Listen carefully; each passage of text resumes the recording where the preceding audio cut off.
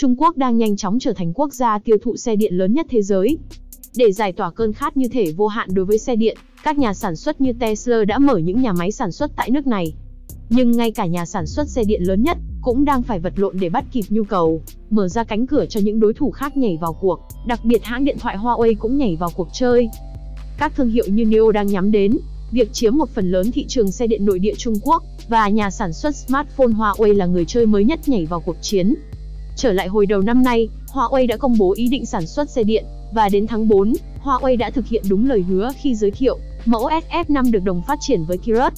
Giờ đây, gã khổng lồ công nghệ Trung Quốc đã công bố một mẫu xe mới mà sẽ có hệ điều hành Harmony OS của mình.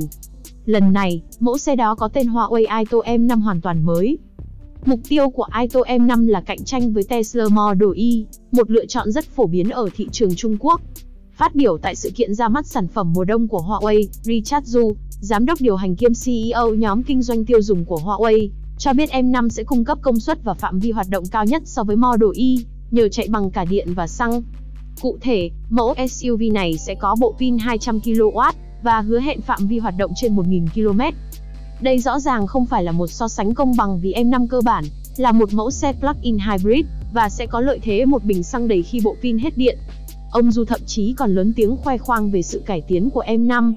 Bạn sẽ biết liệu nó có cao cấp hay không bằng âm thanh. Chúng tôi có thể cung cấp trải nghiệm chất lượng yên lặng như thư viện, Du nói.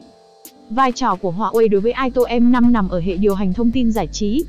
Hệ điều hành Harmony OS có thể tích hợp hoàn toàn với các sản phẩm khác của Huawei, và khách hàng thậm chí có thể sử dụng đồng hồ thông minh Huawei làm chìa khóa để khởi động xe của họ.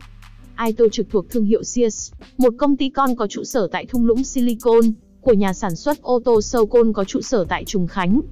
Công ty tin rằng việc biến xe ô tô thành một thiết bị thông minh tương tự như điện thoại chính là tương lai. Hệ điều hành Harmony OS đã được phát triển bởi Google cấm công ty sử dụng hệ điều hành Android của mình. M5 là mẫu xe đầu tiên dưới cái tên Ito, viết tắt cho cụm từ có nghĩa bổ sung trí thông minh cho ô tô. Việc giao hàng của M5 dự kiến sẽ bắt đầu vào cuối tháng 2 năm 2021, sau dịp Tết Nguyên đán này.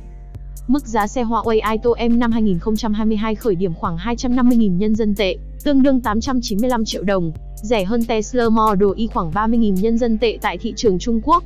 Những thông tin chi tiết hơn về Ito M5 sẽ được công bố ở thời điểm sắp giao hàng.